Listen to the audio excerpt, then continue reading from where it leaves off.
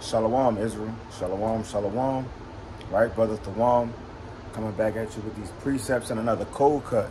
Giving first all honor and glory to Yahweh, Bahashem Yahweh Shah. Yahweh being the name of the Heavenly Father. Yahweh Shah being the name of his only begotten Son, who the world calls Jesus Christ. Right? And the earth is flat. Right? The earth is flat. If you're going to go off of what Esau tell you, you're going to listen to NASA, then you're going to be deceived, right? You're going to be deceived by the serpent, right? NASA, deceiver. See that? But when you're going to go into these scriptures, we go into these scriptures and you're going to realize that the earth made, the earth is made a certain way by the Most High. Right? So we're going to start off with um, Job 38 and 14. Job chapter 38 and verse 14.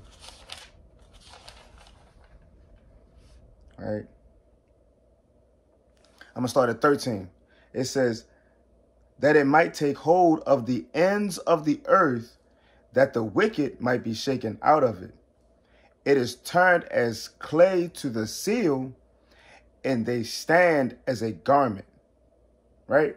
So when you take a clay, right, the uh, seal on the signet ring, and you mash it to the clay, your seal right? Your seal is a is a circle.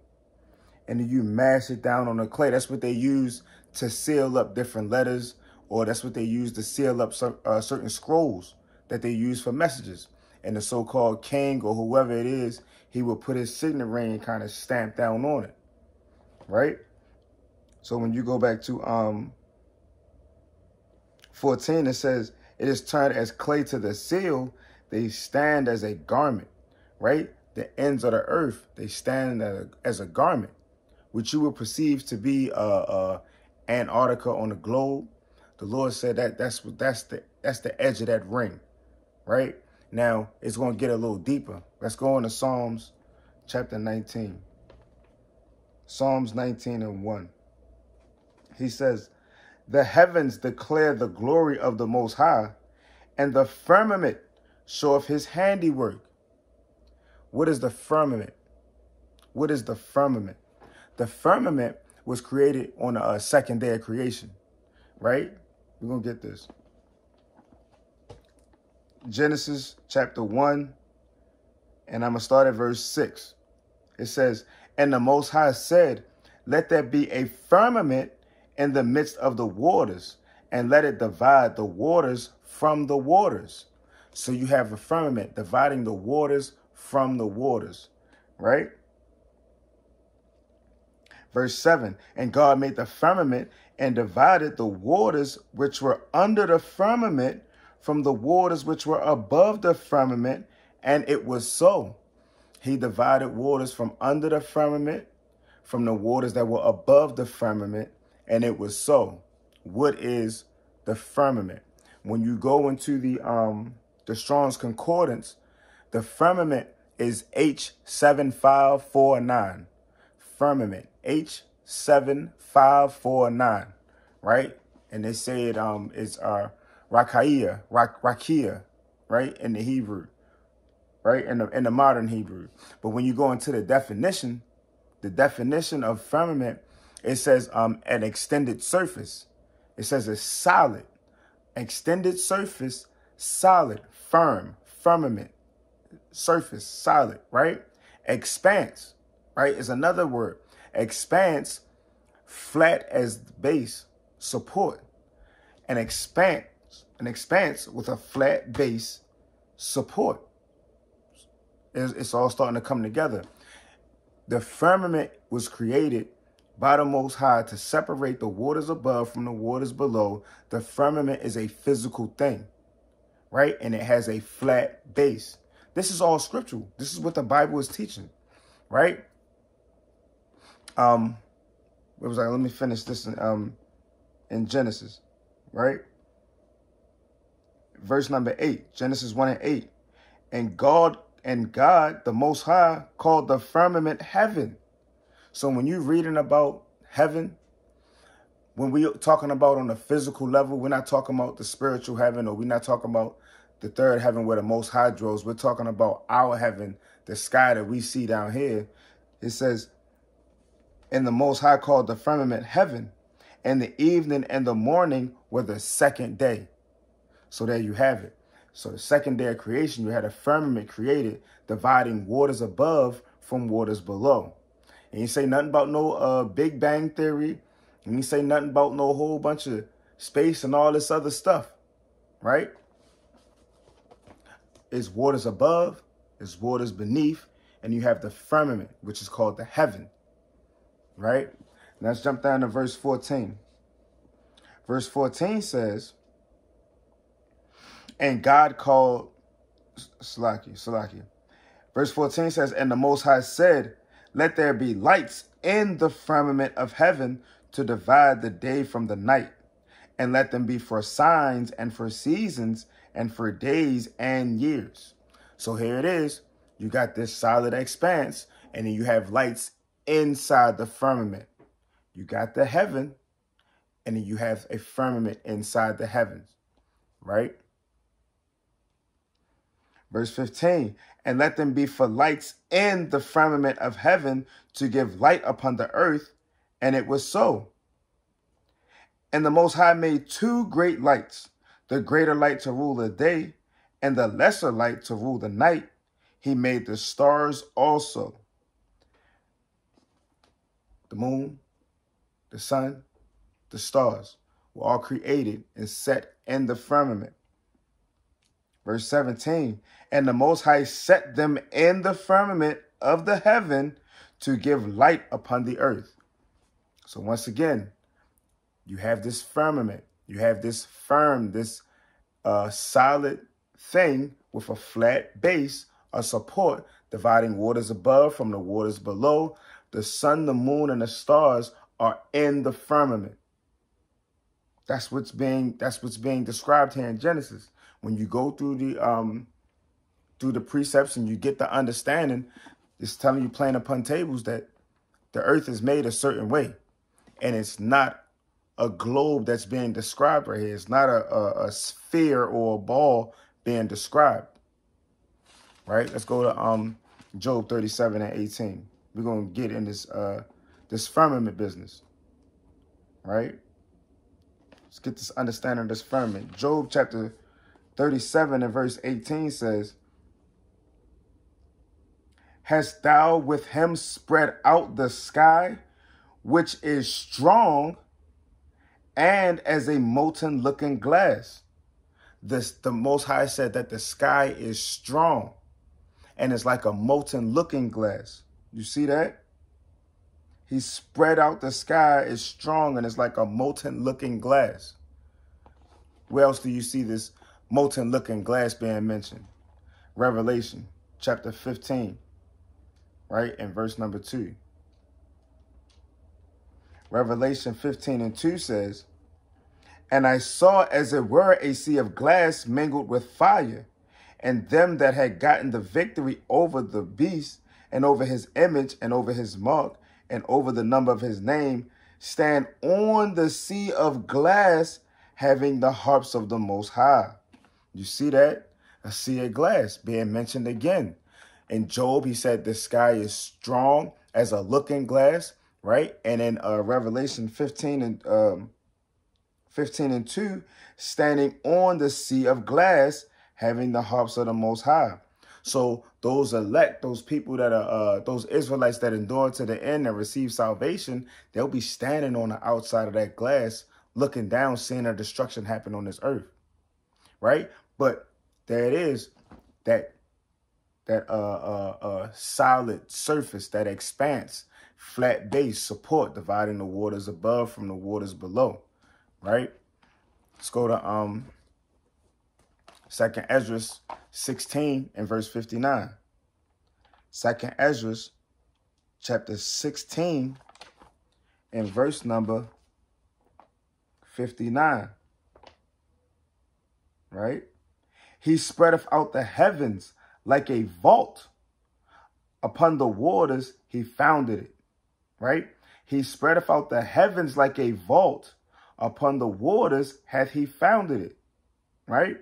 He spread the heavens, the sky, the firmament like a vault What's a vault? When you get into the definition of the word vault, the vault of heaven, um, the vault of heaven supporting the waters, a vault, when you get into the etymology, it says it's um, like an arched, an arched roof or an arched ceiling.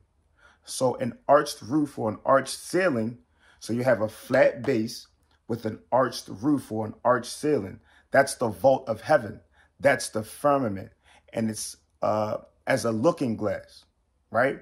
A solid expanse dividing the waters above from the waters below as a vault and the top shape, flat base. You see that? So this firmament that's being described in the scriptures, this is all supporting the idea of the earth being, um, we say flat for lack of better terms, but you uh, you understand that we have mountains, you have sea level, you got above sea level, and you got below sea level. So it's not going to be, you know, just straight flat like a book, right? You're going to have mountain ranges and valleys. You're going to have, like I said, above sea level and below sea level. But even with water, water's always going to level out. You've never seen curved water. You've never just seen curved water sitting. When water sits, it levels out. Right? Um, where else we'll go? Where else we going? Um, Isaiah 44. Isaiah 44 and 24. Right? We're still getting into the firmament and how the firmament is spread. Right? Isaiah 44 and 24 says, Thus saith Yahweh, thy Redeemer, and he that formed thee from the womb, I am Yahweh, that maketh all things, that stretch forth the heavens alone, that spreadeth abroad the earth by myself. So he made the heavens to spread above, uh, um, abroad the earth. He made the firmament to spread over the earth, right? But remember, it got that flat base. So it starts at the bottom, it goes up, and then it comes back down because it has that vault, that arched roof, that arched ceiling, right? Um, go to Job 26 and 11, right? Job chapter 26 and verse number 11.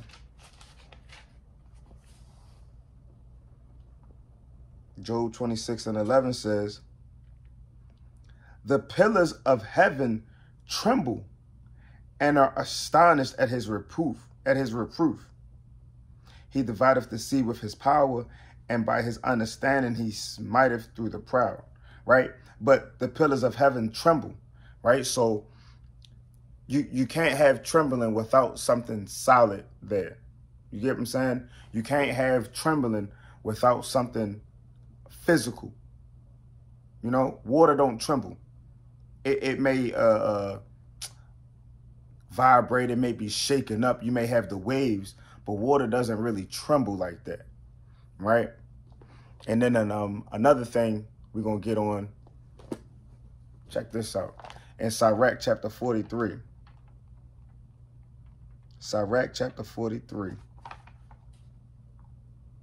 And I'm going to start at verse um, 11. Sirach 43 and 11. It says, Look upon the rainbow, right? Hey, watch this. Look upon the rainbow and praise him that made it. Very beautiful it is in the brightness thereof. So now we're on the rainbow. Look at the rainbow. It's beautiful, right?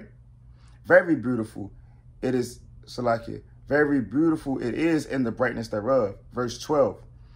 It compasseth the heaven about, it compasseth the firmament about, it compasseth the heaven about with a glorious circle. You see that? With a glorious circle, and the hands of the Most High have bended it. So, us standing on the ground, when we look up and we see a, a rainbow in the sky, a rainbow, we see a, we see that. That's all we see is that bow. But the scripture's telling you that the rainbow is a circle, meaning that the sky, the, the heaven, the firmament is so large that when you see a rainbow, you only see the arch of the rainbow, but the rainbow is actually a whole circle. You see that? Now, Esau give you the truth without giving you the whole truth, Meaning, what are the elements that are take that it needs? Uh, what are the elements necessary to see a rainbow? In order to see a rainbow, you need three things. You need light, you need water molecules, and you need a reflective surface. Light, water molecules, and a reflective surface at a certain angle, that's how you uh, get that creation of a rainbow. So let's break this down.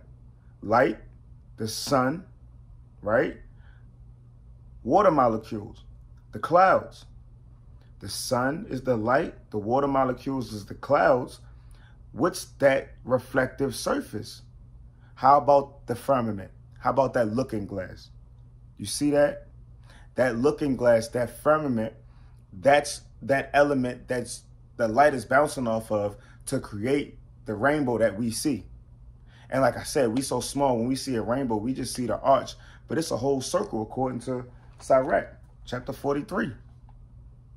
See that? So we got to come out of these lies that these indoctrinations that they put on us. The earth isn't uh wasn't created off of no big bang. Everything is not just by chance. This all is designed by the Most High God, right? The Most High, Yahweh, Yahweh Shah, and the angels, they created this earth, and he he gave you the blueprint in Genesis. He created the waters above, separated from the waters below. You got the firmament separating them. You got the sun, the moon, and the stars in the firmament. And on these, on whatever day the Most High, uh, you know, declares it, you may see a rainbow in the sky, and this rainbow is a reflection of the water molecules passing, um, the the light passing through the water molecules, which is in those clouds, and um, reflecting off of the firmament. That's what the Lord said right? Now we're going to get into um, the sun and the moon, right? The sun and the moon. Genesis chapter 1. We start at verse 14. And I'm going to read down to 18. Right? And the Most High said, Let there be lights in the firmament of heaven to divide the day from the night, and let them be for signs and for seasons and for days and years and let them be for lights in the firmament of the heaven to give light upon the earth. And it was so. And the Most High made two great lights, the greater light to rule the day, the sun, and the lesser light to rule the night, the moon. He made the stars also. And the Most High set them in the firmament of heaven to give light upon the earth, and to rule over the day and over the night, and to divide the light from the darkness and the Most High saw that it was good. And the evening and the morning were the fourth day. So on the fourth day, the Most High created the sun, the moon, and the stars, and he set them in the firmament for the seasons, right? So let's go to uh, Psalms chapter 19. Because when you leave it to um, when you leave it to Esau, when you leave it to NASA, first of all, everything that uh, uh, Babylon, everything that Babylon knows about um, space, they know from from NASA. Like everything that's known about space and stars and all of this other folly, you got it from NASA.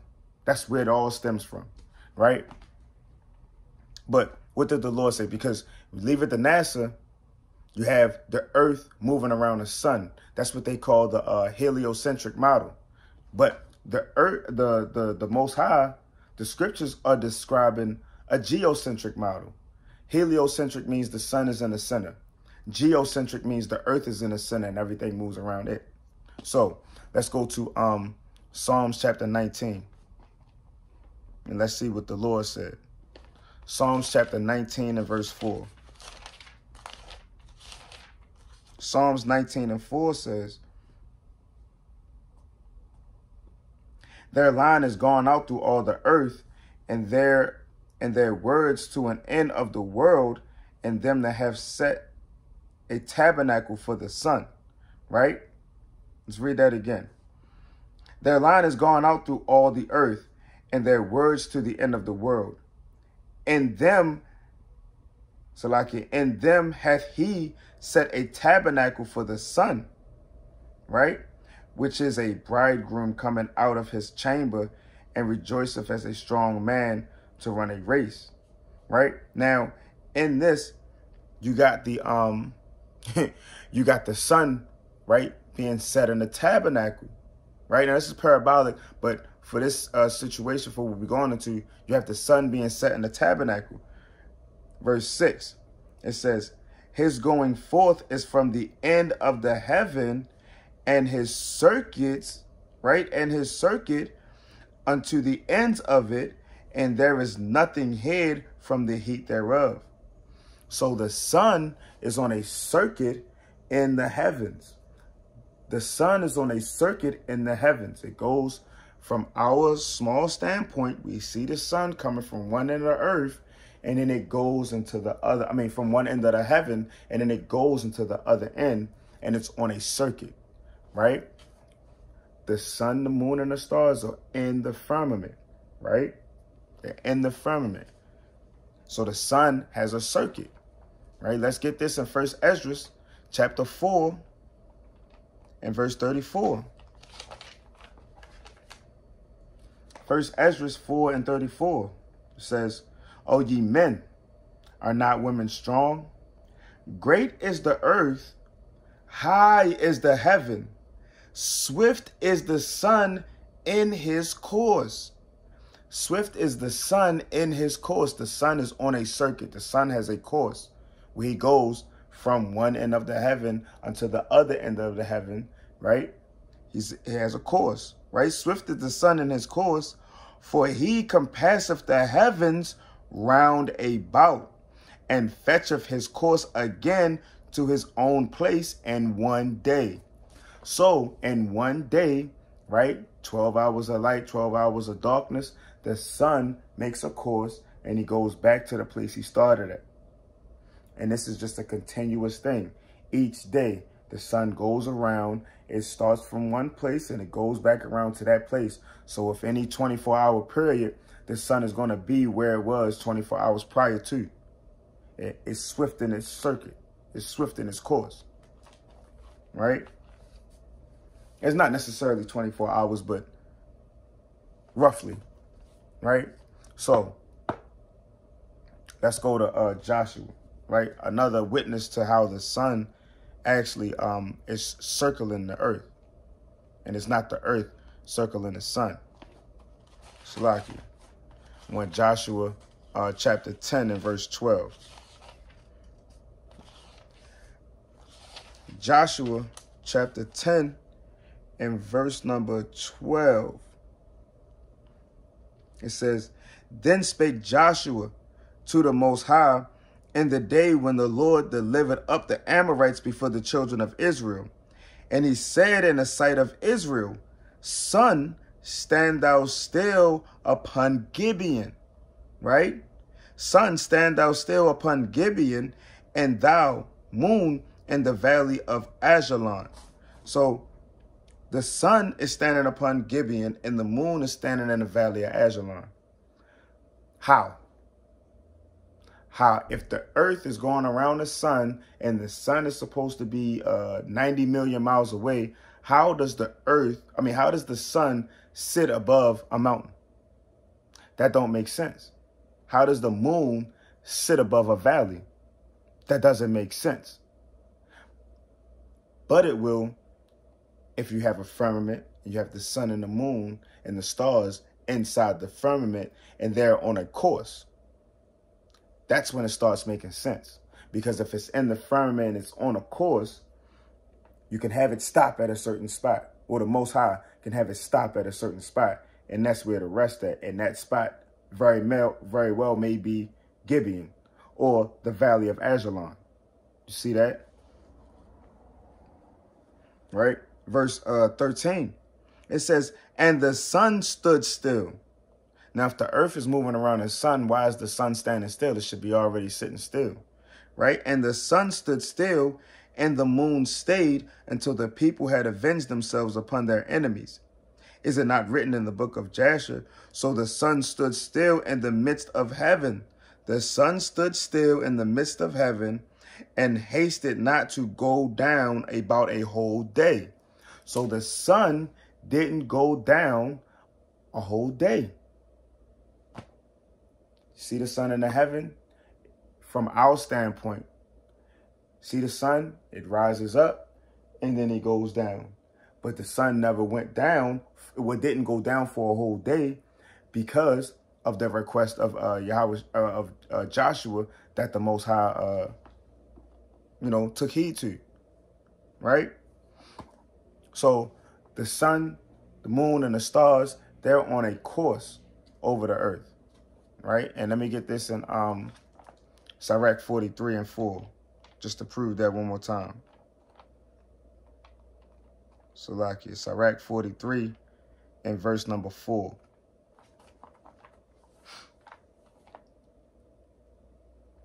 It says, A man blowing a furnace is in the works of heat, but the sun burneth the mountains three times more, breathing out fiery vapors and sending forth bright beams, it dimmeth the eyes. So the sun in its creation, the sun is very bright, right? Obviously, we go out, we see it every day. The sun is very bright, and it's brighter than um, than those people that um that uh, work glass, right? Working in the uh, in the furnace, right? Verse number five. Great is the Lord that made it, and at his commandment it runneth hastily. Right? So the Most High created the sun, the moon, and the stars to go around the earth, to rule the uh, the day and the night, so we can know the, the, the night from the day, and so we have uh, so we'll know the times and the seasons that we're in. Right? They have their purpose. So, like I said, you leave it up to Esau, you got the earth moving around the sun, and then the earth is damn spinning and it's going around the sun, and you got all this other stuff going on. The Lord ain't say all that. The Lord ain't say all of that. Right? He made it simple for us. Right? And I'm gonna get this, uh, I'm gonna get this to Salakia in um, Genesis 1 and 9. Right? Now we're going to talk about the earth a little bit. Genesis 1 and 9 says, And the Most High said, Let the waters under the heaven be gathered together unto one place, and let the dry land appear, and it was so. And the Most High called the dry land earth, and gathered together of the waters, Salakia, and the gathering together of the waters called he seas, and the Most High saw that it was good, right? So now we're getting into the earth, right? Let's read this in um First Chronicles 16 and 30. And go to First First Chronicles chapter 16 and verse 30.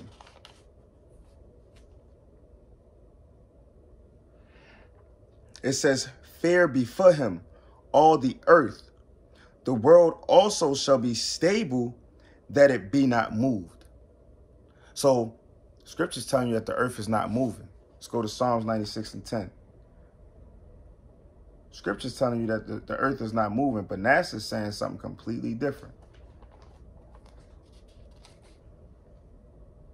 Psalms 96 and 10 says, Say among the heathen that the Lord reigneth the world also shall be established that it shall not be moved. He shall judge the people righteously. Right? So once again, the world, the earth shall not be moved. Right? So these are things that are being um being basically stamped with the most high, man. The earth don't move. You got the firmament separating them. Once you get into the firmament, the firmament destroys the whole idea of the Big Bang Theory and all of this other stuff. It like, cause ain't NASA never spoke about a, a glass arch being over the earth. They never spoke on that, right? But the Lord is. Psalms chapter 75 and verse 3. It says, The earth and all the inhabitants thereof are dissolved. I bear it up. Salakia, I bear up the pillars of it. Salah. Right? So the Lord is saying that the earth don't move. He's saying that because the earth, he set it on pillars, right? He set the earth upon pillars, right? Let's go to uh, 1 Samuel 2 and 8. Salaki.